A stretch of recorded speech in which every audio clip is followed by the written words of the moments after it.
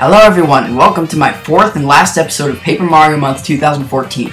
I saved the worst for last sadly and it's time to review what is not only my least favorite Paper Mario game easily, but my least favorite Mario game of all time. Paper Mario Sticker Star. And before you ask, no, I haven't played any of those crappy educational games for the NES and SNES, or that CDI game that has gained such critical acclaim over the years. I hope she made lots of spaghetti! Yeah, that one. However, those had no chance of being good. A sequel to what many considered to be the best game on the GameCube? That's another story.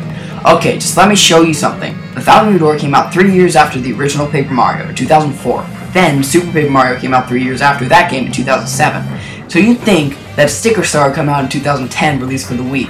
Wrong, it came out in 2012, five years after Super Paper Mario. I remember hearing about this game two years before and I was super excited. I saw the first gameplay photos and get this, it was originally going to use the same basic gameplay as the first two installments. There was going to be a chain chomp partner, an area with a maze of playing cards, etc.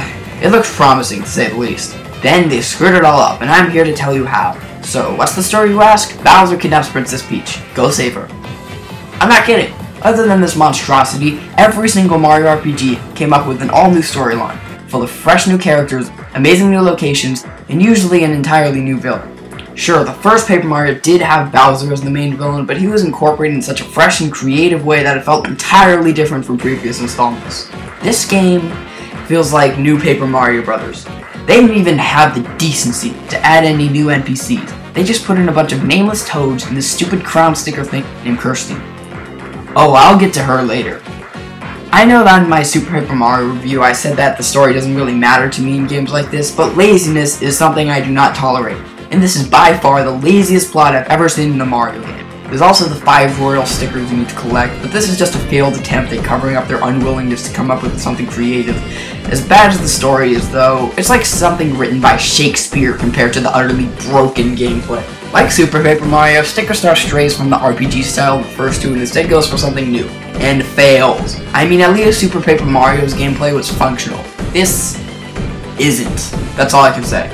Sticker Star goes back to a turn-based battle system, but it just doesn't work. Rather than using normal moves, Mario uses stickers for battling enemies. There are jump stickers and hammer stickers, as well as variations of the two that are either stronger, weaker, or have some other effect. Action commands are back, and admittedly, they're implemented well. However, there isn't much else rather than a few special stickers, and the lack of variety is disappointing. You'll also run out of stickers if you aren't careful, but there are numerous ones scattered throughout the map, and you can buy some at shop by obtaining coins from beating enemies. Which brings me to this game's biggest problem. They removed experience points. Fighting enemies is completely useless, and they give you nothing other than coins, which you can use to buy stickers, which you waste on more useless enemies. After you've practiced enough, you can skip every single enemy in the game. In a good RPG, you would fight enemies so that you could get more experience, which you use to make yourself stronger, and thus have an actual chance of beating a mandatory fight. In this game, all of that is gone. The combat is good, but not good enough to keep me from skipping every battle I can. Then there are the bosses. These guys are insane. I mean, really. I'm going to show you a quote from a rant I heard regarding the difficulty spikes in this game. You go from fighting Goombas and Koopas to King Kong and Godzilla. The bosses are so much harder than the normal enemies, it's crazy. Unless you use a special sticker, of course. Then they're pushovers. I mean, technically the bosses aren't really that hard, but they are compared to the enemies. Let me put this in perspective for you. The first boss, King Goomba, had 90 HP and 5 attack. A regular Goomba has 5 HP and 2 attack, and the Thousand Year Door X-Nauts in Chapter 2 had 4 HP and 3 attack, while Magnus Von Grapple, the chapter boss, had 30 HP and a maximum of 4 attack, although usually only performed attacks that did 2 damage. Also, in Sticker Star, you have 20 HP, and, and since leveling up was removed, you can't make yourself any stronger, traditionally anyway. So the first boss in the game can kill you in 4 turns. With a Thousand Door, your HP was usually around 25 if you leveled up enough by the time you fight the boss of Chapter 2. And you have a partner to assist you. Don't get me wrong, there's nothing wrong with a challenge, but if you have difficulty spikes as big as this, then you have a flawed game. Also, the bosses are just giant versions of regular enemies. King Goomba, Giant Pokey, Petey Piranha, Gooper Blooper, Mr. Blizzard. At least Super Paper Mario had some imagination. Lazy. Oh, and remember all those great partners you received in the first three games? Those are gone now. It would be too hard to incorporate them into the gameplay. Instead, you just get this annoying sticker lady who just yells at you and explains things. And I thought Starla was bad. lazy. The levels are also very forgettable and very linear. No exploration, just keep walking to the right until you win. Also, these are just generic new Super Mario Bros. landscapes put into the 2.5D form. Grass World, Desert World, Snow World, Jungle World, lazy. However, this game's second biggest flaw is its idea of challenging level design.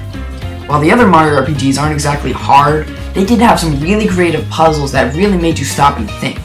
It never felt cryptic. In fact, Sticker Star was originally going to use stickers as a mechanic for puzzles rather than the battle system. There are no puzzles in this game, just mazes. There is no sense of direction in some of these levels. While the other levels are just go from point A to point B. And trust me, they have made sure to include the worst of both worlds in this game. I keep getting lost, and I pretty much have to go to IGN in order to find out just what the flying fuzzy I'm supposed to do. Flying fuzzy? What? Lazy. The best thing about this game, bar none, is the music. It's really catchy, and there are quite a few songs that stick to you. Get it? Stick with you? However, I'm very disappointed that they chose to make pretty much every song in the game jazzy, as it doesn't fit some situations in it. Listen to the final boss music, you'll know what I mean.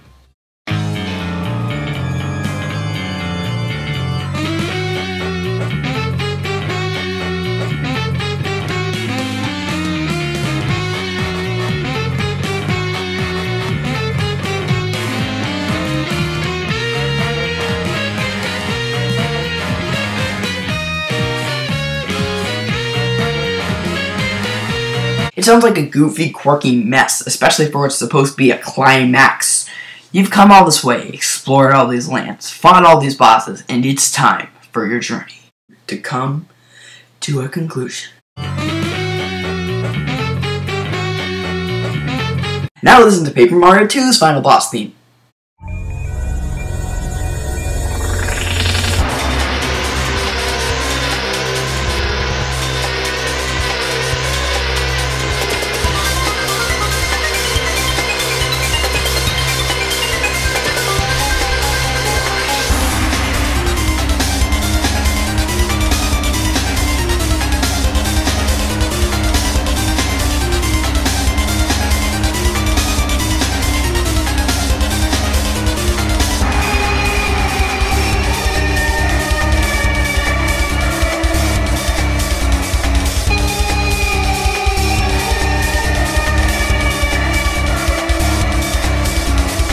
I mean, it just doesn't compare. I'm fine if your soundtrack has a recurring theme, but if it doesn't work, try something else.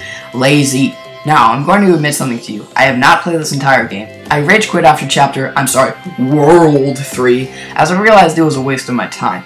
I know it's unfair to judge a game until you finished it, but from what I've heard, the quality of the game stays the same for your entire playthrough. If anything, people have said it gets worse from the start of the third chapter and onwards. Anyways, the so-called prologue begins with Mario having to find all the toads in Toad Town so that you can progress through the first chapter. Chapter, not world! Get it right, you ignorant buffoon who have no idea how to make a proper sequel to one of the best games ever. Okay, I'll stop. This task is the only real part of the prologue other than a run-in with a few Goombas. And it's lame. Really lame. Lazy. The first chapter is really easy. Just go to the right and skip all the enemies. Chapter 2 is like that at first, until you reach this annoying maze thing that just made me stop playing this atrocity for a long time. You'd think that intelligent systems would at least have the decency to include a little fan service, but no.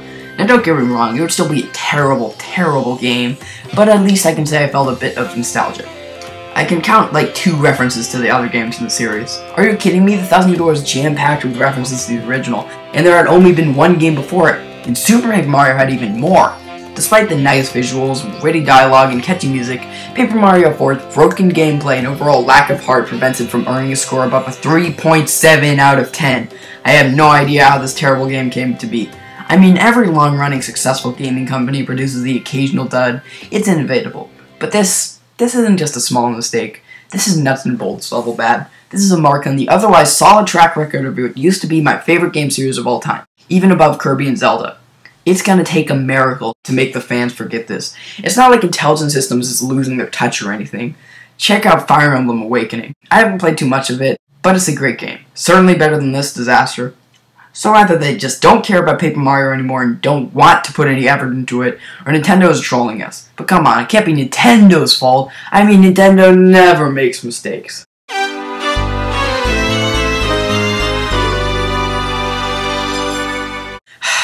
For those of you who haven't seen my reviews of the other three games, let me show you where I'm coming from. The original Paper Mario is a classic, no question about it, and completely changed the Mario RPG series for the better. Paper Mario 2 surpassed it in pretty much every way, and is still the best game I've ever played, even above Shadow of the Colossus and Ocarina of Time. Super Paper Mario was a disappointment, but it was still a really good game, just in a different way. We had been waiting for 8 years for a true successor to Paper Mario 2, and this is what they give us. Broken, lazy, unoriginal, unimaginative, bland, soulless excuse for an RPG. you know, some people like this game. If you do, that's fine, I can see why. But the majority of the fanbase doesn't, including myself. And Nintendo needs to acknowledge this. All I can say is that thank God this was on a handheld. This means that we can still get another game for the Wii U rather than having to wait for the next generation. Heck, there's been talk of Intelligent Systems working on an unannounced project for the Wii U, and we just got a new Fire Emblem last year. Perhaps I'll have another game to review for 2015's Paper Mario Marathon. Hopefully this one will be positive. So I guess that does it for this year's marathon. Thanks for watching, remember to subscribe for more reviews, countdowns, and let's plays. Also, feel free to share your opinion by posting a comment below, sharing your thoughts on this game or maybe some criticism. Constructive criticism. Anyways, next time I'll be counting my top 10 favorite Wii games of all time. See you there.